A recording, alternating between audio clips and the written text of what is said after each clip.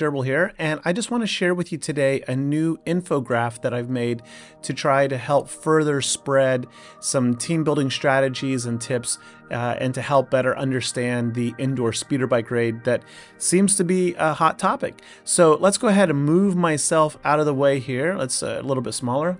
There we go. And here is the graph behind this window. So um, it's it it's a lot of stuff compressed into a small package. It's not the ultimate end all be all. It is focusing on team building. And I think this this could be very helpful for a lot of your guildmates out there who maybe don't, you know, subscribe to uh, a lot of YouTubers or listen to SWGOH content. So let me just kind of walk you through what's here overall. So um, first things first, um, it is a team building guide where I'm trying to give tips on how to put together squads that will be the most effective.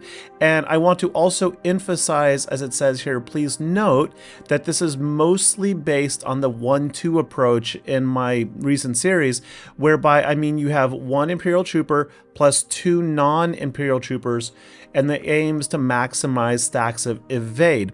Now, I don't know if this is a thing or not, but I've, I've seen people posting some kind of iteration of this, which I kind of like, the IM approach, which is the Imperial Trooper plus evasive maneuvers. I think it's pretty cool. So whether that's a thing or not, I'm going to run with it. And so yes, it's Imperial Trooper basicing plus evasive maneuvers and other methods of stacking evade. Um, so of the eight abilities, I've listed over here on the left all of the characters vertically who share these abilities. So evasive maneuvers goes down, hasty repairs, there's only four of them. Uh, for forest friends, likewise, there's only four of those. Uh, open, fire, etc. Also, I put this arrow here and I said left or right, abilities that provide maximum evade here goes to eventually no evade and then to maximum jam because jam is kind of your enemy for this methodology. You, you, really don't want a lot of stacks of jam when you're building up the trooper raid. You just want shadow troopers coming out and you want your imperial trooper to one shot them over and over again. Just pew die, pew die, right? So on the best, it on the left is the best, on the right, not including the basic, is the worst for this particular methodology. So then I've got a couple here, Ackbar, Chirpa, Elder, and no, this is not a matter of biasism. They are legitimately the MVPs of this event because they're the only characters that have both evasive maneuvers, which provides an AoE team buff of four stacks of evade. I think it's four per ally, and then Hasty Repairs does, I think, three, or I've got that reversed. Maybe one does three per ally, the other does four per ally. So between these three characters, like you can literally every other turn, especially if your crit chance is high, just go maneuvers, repair, maneuvers, repair, maneuvers, repair. And in doing so, your troopers pretty soon just go hit for 90 damage, hit for 140 damage, hit for 220 damage, and kill everything. So those are your MVPs. Uh, C3PO, of course, is the one who can escape battle, and then the Omicron is down here on Scout Trooper. It's not essential, but it kind of helps. Now, below that, these are my favorite teams that I have played, and I'm ranking their damage not in maximum value, but in the percentage of achievable score per tier, whatever tier you play. And what I mean by that is like, um, take this squad right here. The mechanics are irrelevant eh, with with the imperial the im strategy that it is it is independent of the tier you play if you're going in at tier 1 you can achieve 95% of the score with low gear uh, Piett uh, Chirpa Elder. If you go in at tier 6 and you have high gear characters, you can achieve 95% of that score, right? So we need to measure score in here by percentage of available of possibilities rather than actual damage values because that depends on your gear level right? So these are my favorite teams. I'm not saying they're the best. These are just what I have been recently achieving with these. And and this chart, I'm going to update and, and evolve it as we go. Now, over here towards the middle, I've got Meta Imperial Trooper teams. And yeah, I mean Meta. By the way, do y'all know what Meta stands for? I bet you don't. Most people don't. Meta is most effective tactical advantage. Excuse me, most effective tactical advantage. Learn something, huh? So this is the most effective tactical advantage for maximizing your scores, and it is.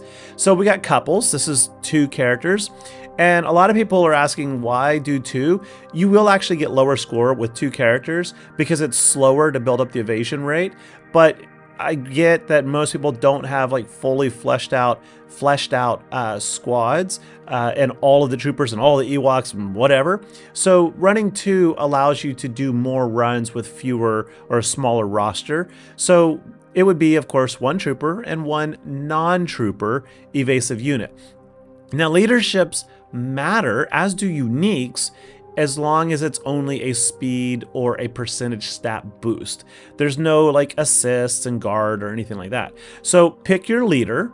Um, it's not essential that you run with a trooper lead, and I'll explain in a second why. But like if you have Iden, she's going to get 35 bonus speed, 35 additional critical uh, chance and offense, and that's good because offense equals more damage dealt, and you're stacking damage damage through stacks of evade, right? So more evade is more damage, more offense is more damage, and that's what you want.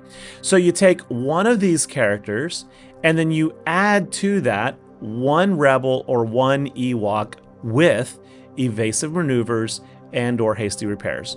And between those two, you're going to be able to do a lot better than just like randomly throwing in some of this nonsense over here that's kind of worthless.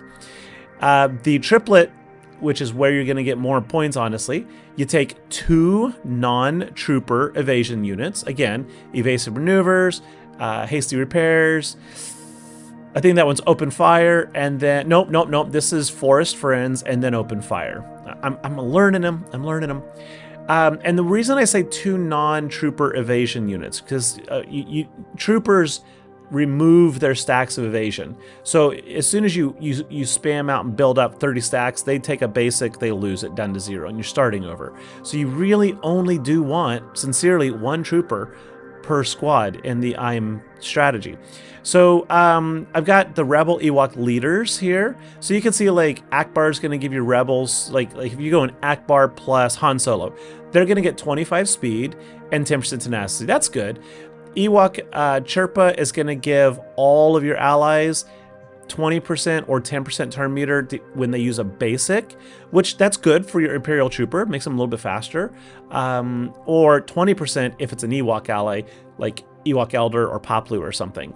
And and on. You guys can read this. I know you, you're you're smart. You can read that. But so these are the meta team methods of building a team. Now, why not just tell you what teams work? Because it's not about the character so much as it's about the ability. This raid is not faction specific. It is not mix and match the perfect character. It's about mix and match the synergy of the abilities. So you want an Imperial Trooper faction ability. Oh, weird. I don't want to. I don't want to fill on this. Huh? Interesting. Eh. Plus an evade repair unit, right? It doesn't matter which one, as long as they're sufficiently fast and you can spam your abilities. Now, of course, there are some other viable teams that are not relying on this. Uh, as most of us know by now, you can solo this 2.7 million with uh, Leia. That's that's pretty awesome. You can run a full uh, rebel squad, take one of your rebel leaders, and then add on two more rebels. And honestly, the ones I think work the best here are going to be Wedge, but a lot of people don't have him at high relic levels or high gear. Uh, followed by Ackbar, followed by, um, it's a toss up, but I would go with Luke. And then if you're running Rex, Hera with Rex actually is pretty nice. But yeah, so you take three rebels, and here it's all about the mechanic of their faction bonus. Whenever a rebel uses a basic, pew pew pew pew, they repair stacks of damage on themselves, so they survive longer. And if they're at maximum stacks, they start to accumulate stacks of shield. And so this is part of how like Leia works. You can get 60, 70, 80 stacks of shield if things are like RNG is really in your favor and you're evading a lot. So that when the enemy's enrage, you can actually endure multiple hits from an enraged enemy, which means you might be able to take out one or two more uh, waves than like the troopers would. And that allows you to get a decent score. You're, you're probably not going to max it. Also, don't forget that rebels gain more po points. Actually, everybody gains points when you heal. So um, there's a good opportunity for more repairs there and whenever you evade. But yeah, rebels straight up basic. So why Wedge? Because he gives you 30%, I think it's offense, so that your basic does more damage and you just basic, basic, basic. You kill and heal. Um, yeah, it's pretty nice. Now, triple Ewok attackers is actually quite viable. I was getting about 80, 85% out of this one, and I think um, I think that if you if you manage this well, you can probably do better, but it's a tricky one. So all three Ewok attackers have this Forest Friends ability, which has a, a heavy hitting timber attack. It, it takes away eight stacks of timber. And if your Ewoks are modded with, uh, I think it's uh, accuracy, I don't recall, then they, they do bonus timber damage. And then it also does an AoE jam. So all of your Ewoks gain two stacks of jam. And Ewoks are like the troopers in that when you deal damage to an enemy, instead of basing it off of evade, they remove stacks of timber based on the evade, or sorry, the, the jam. See, this is confusing. They remove stacks of timber based on the, the number of jam stacks you have. So whenever they kill someone with timber, you gain six stacks of jam. And then the next time you hit somebody for timber damage, that gets added in. But unlike the troopers, it doesn't get consumed. And there, folks, is where the bug is, I believe, because it should get consumed or else you will never get a difficult enemy. And in CG's forum posts, they actually say it gets consumed, but it doesn't. So I'm going to be on the lookout for that as an update. So yeah, timber damage works best at low tiers though, because as you go up to the higher tiers, it's harder to get those timber kills and the enemies heal themselves at a pretty quick rate. So it's it's a bit challenging. Um, another one that's uh, it is all rebels again. Also works best at lower tiers is um, Luke with Captain Rex and, and Chewie, because all three of these allies have Divert Attention, which has an AoE Distract ability. So you open up, you spam the AoE Distract, and again, if you have the mods like stats that boost distract and off the top of my head i don't remember which one it is. I think it's potency. I can't recall but i think it's potency um, so if their potency is high enough, you distract them with the AoEs and you can kill both of the starting uh, scout recruits in three hits, I think, depending on the level. You just go like distract, distract, distract, they both die. And that's pretty cool. That's just pretty fun to, to do that. And then Jamtastic. So Logray and Stormtrooper are the only ones, the only characters that have Jam the Comlink. And if the jam honestly got consumed, this would be a really, really good squad, but it don't. So it, it's it's fun, it's viable. So like over here, I got like 86% with them at tier four or five. I think it was the 1.2 million damage. So I got over a million damage with them. Um, the way it works is you're combining the the trooper uh, evasive maneuvers so Logray sends out, not Logray, uh, Teebo, he's got, where is he? He's got evasive maneuvers, as does Logray. So you're going to stack up a whole bunch of evade on, on your two Ewoks, and then the Stormtrooper goes, pew, die. At the same time, these two, uh, Logray and Teebo, they jam the comlinks, stacking up a whole bunch of jam on themselves, so that when they basic, they go pew, die from timber kills, which gives them even more jam.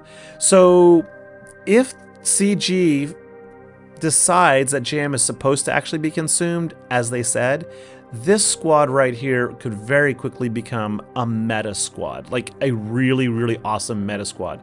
Yeah, sorry, these two jam, these two evade. Jam, evade, jam, jam, evade, evade, jam, jam, jam, die, die, die, boom! Oh no, here it is. I got 1.56 million out of 1.8. That's not bad. Not bad indeed. So then some basic mod tips are down below. Fundamentally, you can ignore most of the statistical rework nonsense. Um, offense and speed is what it really comes down to. Yes, speed, I promise, I promise, I promise. People keep asking, why speed? Because the enemies heal, so you need to kill them before they heal, right? If, if you got to hit them five times for 20 damage each to kill somebody with 100 life, 5 times 20 is 100. But they take a turn in between those attacks and heal, now you got to hit them six times. And every turn you take increases the enrage. So you want to kill them before they heal. So speed is number one. Offense is number two because all the IM methods, Imperial Trooper evasive maneuvers, plus the rebels, um, work on kills through basic. I, I, even even a lot of kills will come from the basic straight up Ewok squads.